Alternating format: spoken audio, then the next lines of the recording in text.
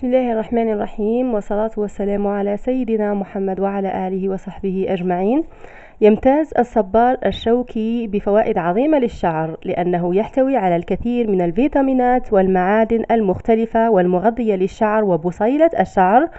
لهذا نجده يدخل في الكثير من مستحضرات التجميل والكريمات والزيوت الخاصة بالشعر فوائده أنه يعالج تساقط الشعر حيث أن الصبار الشوكي الجل الموجود به يرطب الشعر بشكل كبير لقدرته الكبيرة على جذب المياه إلى جذور الشعر. آه كذلك يعتبر من أفضل العلاجات الطبيعية لعلاج تساقط الشعر يعالج جفاف وخشونة الشعر يعالج الصبار الشوكي هنا الشعر الجاف والخشن والهائش.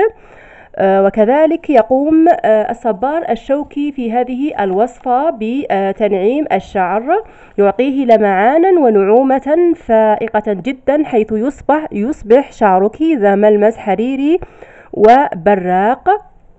وكذلك يعمل آه، بالاستخدام المنتظم على إطالة الشعر وزيادة نموه وكثافته لأنه يحتوي على مادة الأولوين ومركب الجال الموجود فيه يعملان على زيادة طول الشعر ونمو الشعر لأنه يحتوي على معادن مثل الزنك والكالسيوم والحديد والمغنيسيوم والبروتينات وأحماض أمينية يحتاجها شعرنا.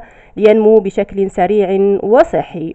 وكذلك هذه الوصفة تعمل على علاج القشرة المزعجة.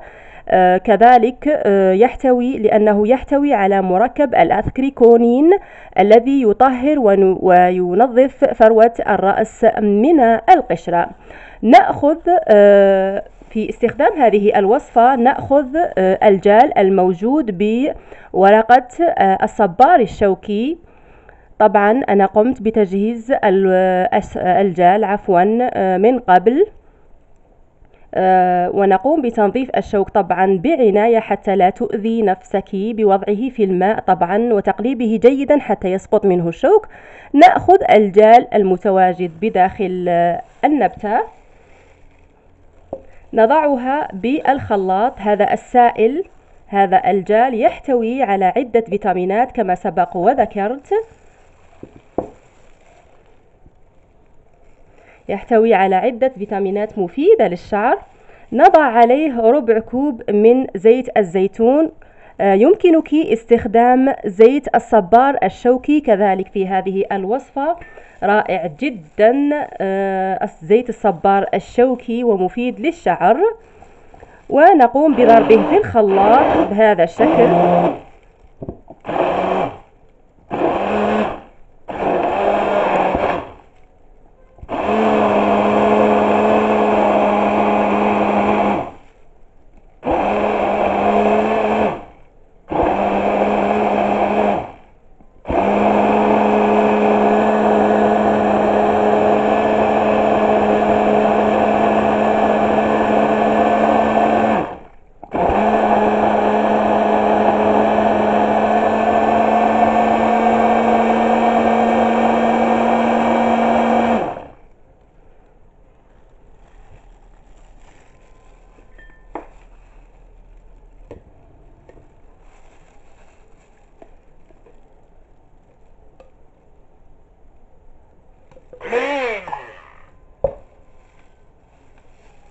ونحصل على هذه الوصفة الرائعة جدا أو الكيراتين الطبيعي للشعر.